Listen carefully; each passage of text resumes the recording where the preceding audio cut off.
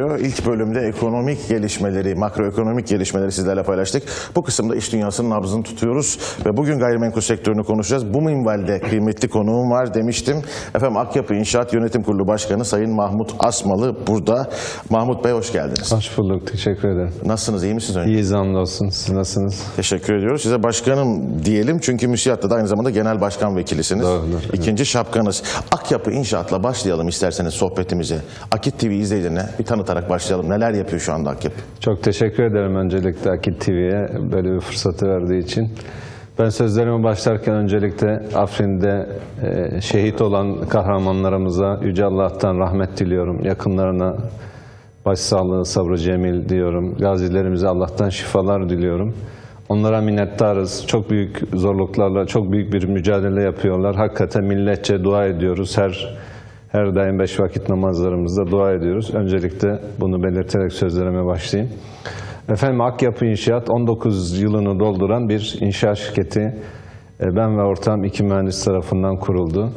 Kurumu- kurulduğumuzdan bu yana e, sanayi sitelerinden alışveriş merkezlerine kadar inşaat sektörünün hemen hemen üst yapı dediğimiz birçok sektöründe başarıyla faaliyetlerini sürdürüyor. Özellikle son 5 senedir de daha çok gayrimenkul geliştirme, e, konut, e, ofis ve e, tır girişli iş yeri dediğimiz depolar, e, üretim tesisleri yapan e, bir inşaat şirketi. E, e, donanımıyla e, efendim 20 yıllık 20 yıla yaklaşan tecrübesiyle e, sektörde haklı bir e, yeri var. E, projelerimiz daha çok e, Avrupa yakasında. Hangi noktalarda? Verelim. Avrupa yakasında daha çok Başakşehir'de, evimiz de Başakşehir'de. Evet. Hatta şunu söyleyeyim, Başakşehir'in bende çok büyük bir anlamı var. Ben 95 yılında e, Başakşehir'in ilk temelini atan mühendislerden biriyim. E, e, Başakşehir'de Kiptaş'ın yaptığı Başak konutlarında birinci etap, birinci kısmında proje müdürlüğü yaptım 95 yılında. İlk çivi çakıldığı zaman oraya. Evet, Sayın Cumhurbaşkanımızın elinde de proje sonunda bir başarı plaketimiz de var. Hamdolsun 23 senedir e, özellikle toplu konut sektörünün içindeyim. Öncelikle onu belirteyim. Daha sonra Avcılar'da projelerimiz var. Esenyurt'ta var. E, karşıda da Ümraniye'de var. Daha çok bu, bu bölgede ağırlığımız var. İş, e, iş merkezimizde yani ofisimizde Başakşehir sınırları içerisinde. Peki biraz e, büyümeden bahsedelim. Üçüncü çeyrekte rekor kırdı Türkiye biliyorsunuz. Evet. Gayrimenkul sektörü de lokomotif olarak hep konuşuyoruz. Hatta bazen sanayiyle yarışacak seviyede. Doğru. Zira gayrimenkul sektörü aslında birçok sektörü de besleyen bir sektör. Tabii ki. E, nasıl görüyorsunuz? 2018 yılında biz yine gayrimenkul sektörünü lokomotif olarak göreceğiz mi? Valla e, bahsettiğiniz gibi gayrimenkul sektörü 250 sektöre e, doğrudan ya da dolaylı olarak e, çok e, etkisi olan bir sektör. Direkt onlarla iç içe olan bir sektör. E, geçen sene özellikle e, devletimizin verdiği bir takım teşviklerle e, efendim yabancılara satışta KDV'nin sıfırlanması, bunun yanında tapu harçlarının düşürülmesi, e, belli bir metrekarede KDV oranlarının düşürülmesi e, bunların etkisiyle de geçen sene bahsettiğiniz gibi yaklaşık 1.4 milyon konut satıldı ki rekor bir büyümeyle kapatıldı. Tabii bu sene için e, beklentilerimiz yine olumlu yönde. Çünkü gayrimenkul sektörü hakikaten Türkiye'de uzun yıllar yine e, devamını e, ve büyümesini sürdürecek bir sektör. Zaman zaman durağan zamanlara girebilir ki şu anda da kısmen özellikle e, arz e, fazlalığından kaynaklı bir e, talep azalması var. E, bunun tabii faizlerin yüksekliği, insanlarımızın biraz dur bekle politikası etkili oluyor ama bu kısmı bir durgunluk olarak değerlendiriyorum şahsen. Çünkü ülkemizde 650 bin e, insanımız evleniyor. Ülkemiz efendim deprem kuşağında 7-7,5 milyon konutun dönüşümünden bahsediyoruz. Salaş ve depreme dayanıksız yapılar var. E, aile e, hane sayısı e, yani yaşayan e, eskiden kalabalık aile tipi modelinden biraz daha tekil aile tipi modeline geçiyoruz. E, 30 yaş altı genç nüfusumuz var. Dediğim gibi bunlar evlenecek, ev sahibi olacak. Dolayısıyla bütün bunları üst üste saydığımız zaman Türkiye'de 15-20 sene daha gayrimenkul sektörünü konuşuyor olacağız.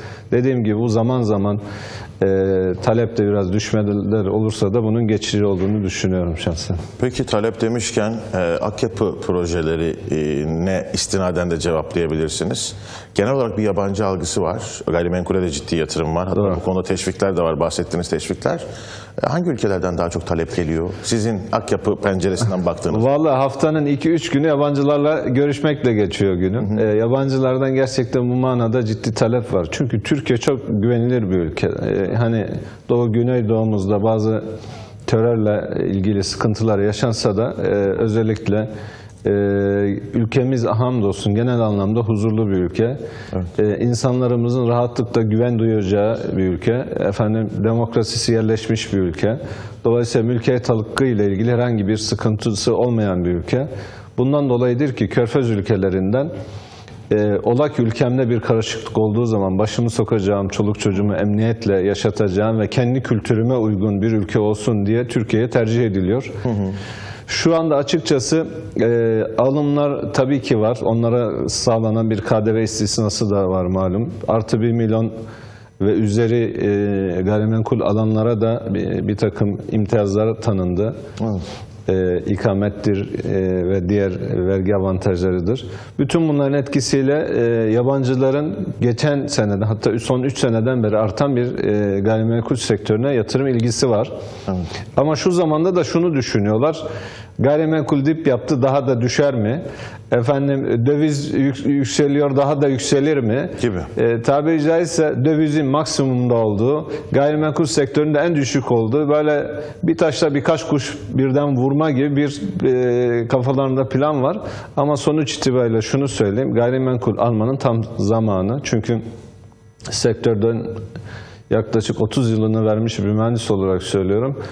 Ee, özellikle maliyetlerde ciddi artışlar var. Şu anda e, bu maliyet artışlarını hiçbir firma e, kendi satış fiyatlarına realize etmemiş durumda. Özellikle demir, çimento gibi inşaatın ana girdi kalemlerinde, efendim işçilik maliyetlerinde çok ciddi artışlar var. Dövize bağlı %40-50 İnşaat sektörünün ana girdileri yüzde 40-50 gibi dövize bağlı, dövizin artışından kaynaklı e, ciddi e, maliyet artışları var. Bunlar henüz fiyatlara yansımadı.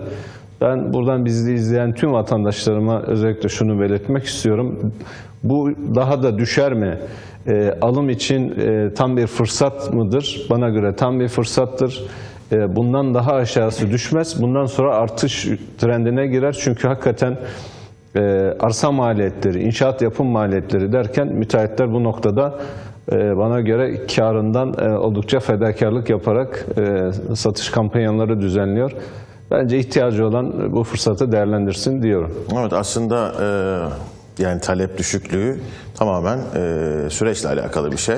Biraz insanlarımız bekle gör taktiği izliyor. E, malum e, gayrimenkul e, getirisi enflasyonun altında kaldı özellikle bu sene. Yani yüzde 13-14 enflasyon varken yüzde 12'lerde e, gayrimenkulün bir getirisi oldu.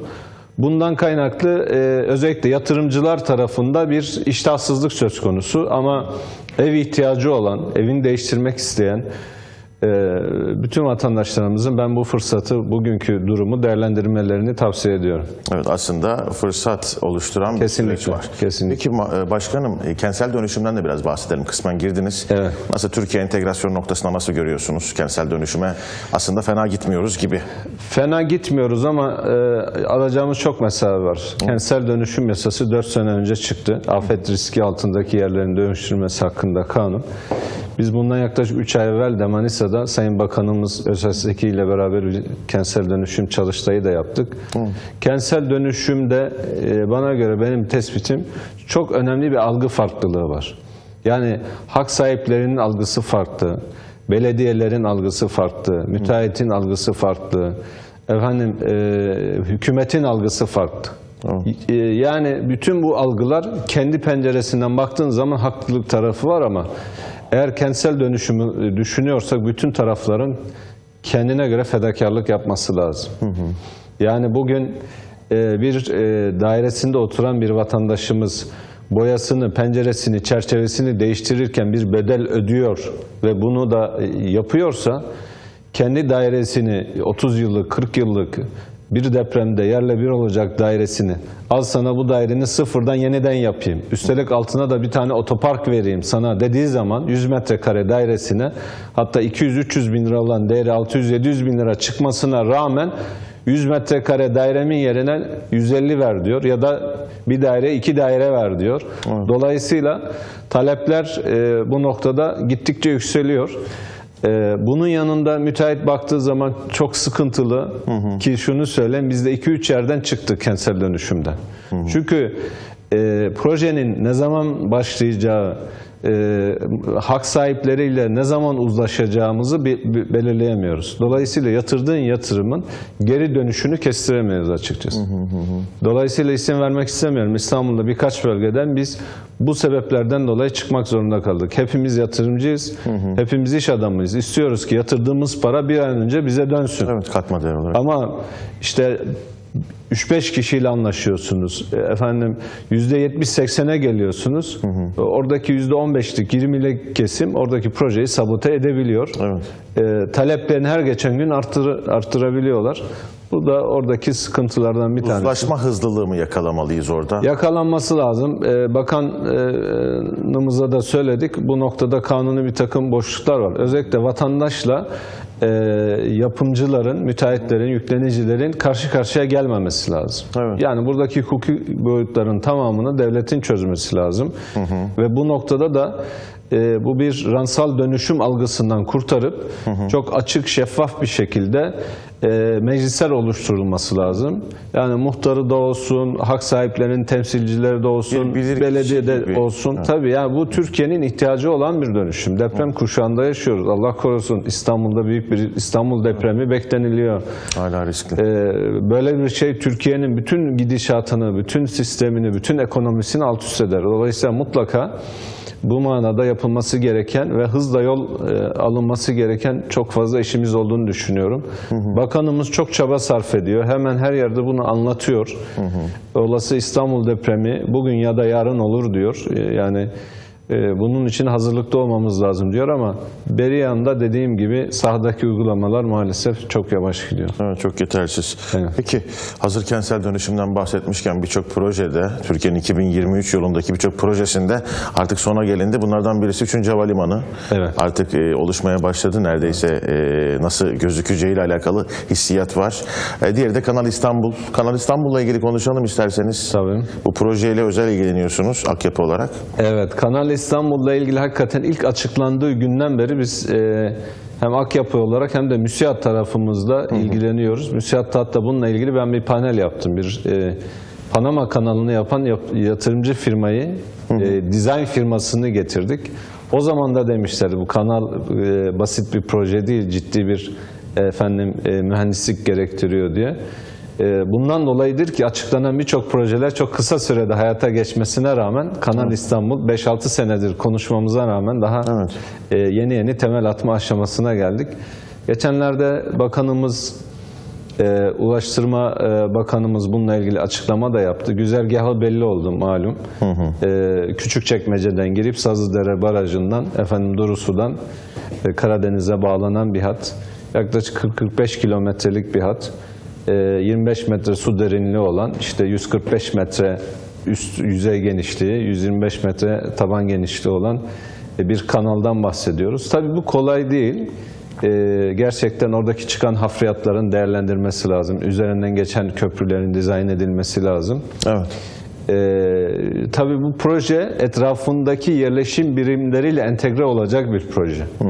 Mesela Panama kanalında bir geminin geçiş maliyeti 500 bin dolarken bizim Boğaz Köprüsü şey Boğaz'dan geçen gemilerin maliyeti bunun onda biri. Yani 50 bin dolar, 40 bin dolar me- mertebesinde. Dolayısıyla geçecek gemilerin paralarıyla finanse edilecek bir olay değil.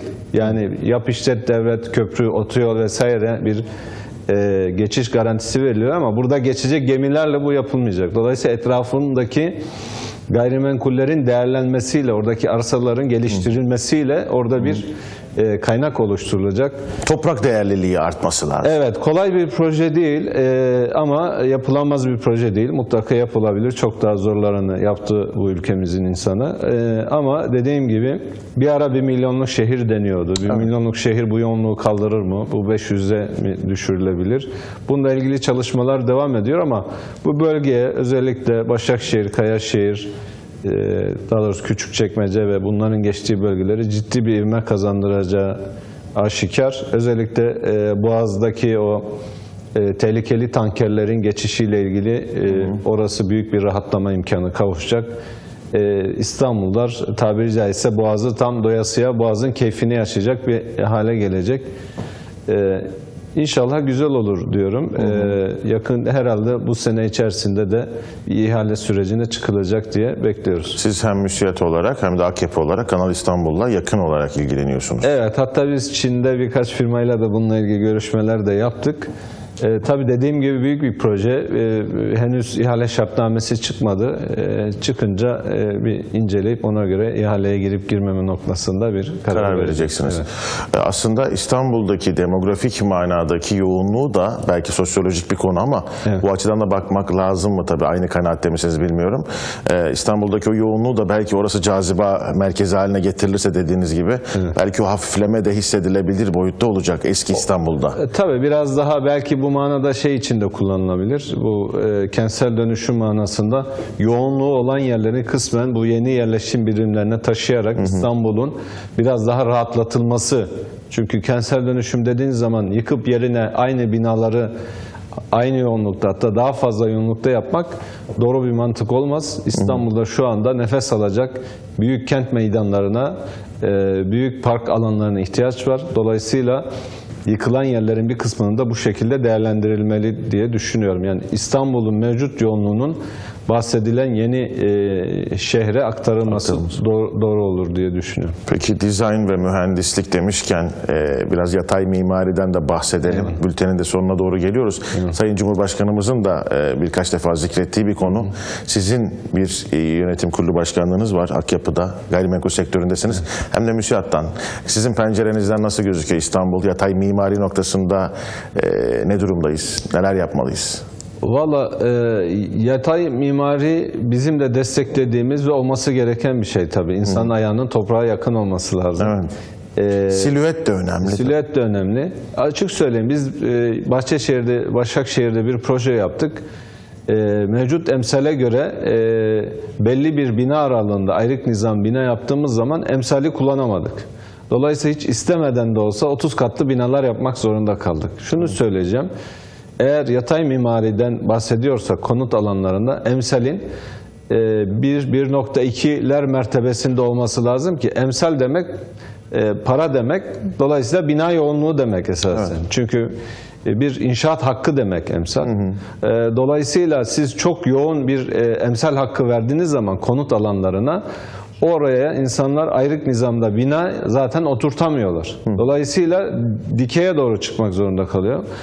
Bundan dolayı diyorum ki evet İstanbul'da ticari iş merkezlerinin olduğu yerler işte e, Levent e, ve o civarlarda efendim e, yerlerde bir takım iş merkezlerinin olduğu yerler yüksek katlı olabilir. Ama konut alanlarının mutlaka yatay mimariye dönmesi lazım. Zaten toplu konut idaresi e, ve değerli başkanı da bu konuda e, gerçekten e, Ergün Bey çok hassas davranıyor. Cumhurbaşkanımızın bu tavsiyelerine de hepimiz dikkat ediyoruz. Dolayısıyla karından fedakarlık ederek artık e, 5-6 katı geçmeyecek yatay mimariler teşvik ediliyor. Doğrusu da bu.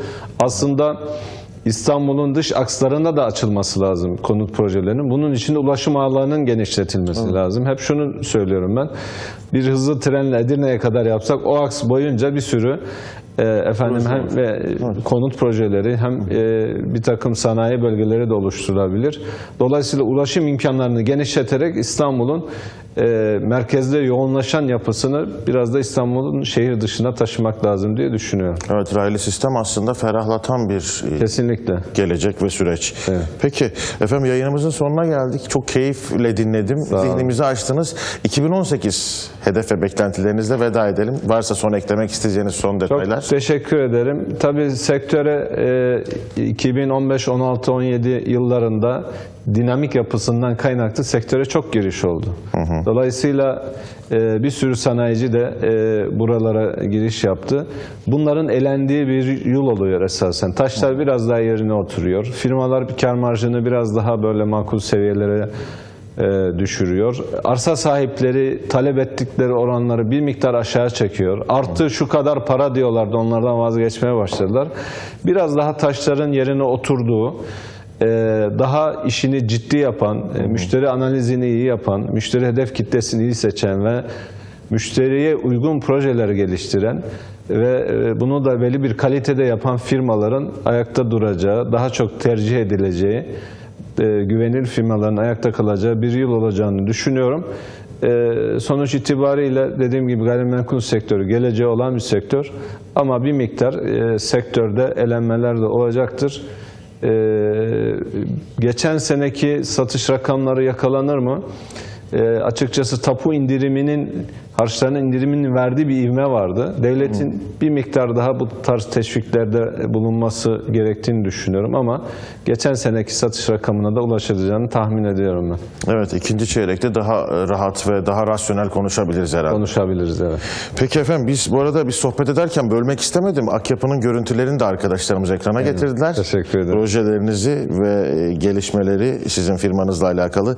E, çok teşekkür ediyoruz. Kıvanç duyduk. Sağ olun. Size hem Akyapı olarak hem de müsiyattaki görevinizde başarılar Sağ diliyoruz. olun. Biz de yarın kilise gidiyoruz. Müsiyat Yönetim Kurulu ve Başkanlar Toplantısı kiliste olacak. Oradaki kardeşlerimize destek vermek için böyle bir karar aldık. Yarın kiliste olacağız inşallah. Ne güzel. Muvaffakiyetler Sağ diliyoruz. olun. Çok teşekkür ederim. Efendim bugün 15 Şubat 2018'di. Ayın tam ortası diyebileceğimiz bir gündü. İş ve ekonomide, iş dünyasının nabzını, gayrimenkul sektörünü konuşarak, Akyapı'yı konuşarak tuttuk. Biz yarın yine iş dünyasının nabzını tutacağız. Bu hafta için son kez ama şimdilik bizden bu kadar. Hoşça kalın. Allah'a ısmarladık.